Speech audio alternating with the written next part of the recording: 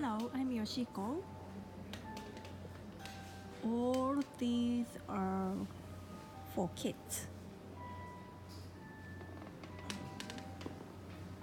You can enjoy wearing costumes with your children too.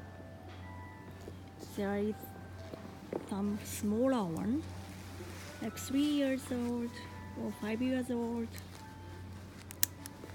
I think like smaller one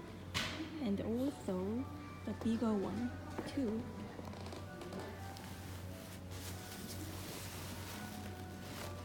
It's really pretty one. And there are some kimonos for your kids too. So you can enjoy with your children. Thank you.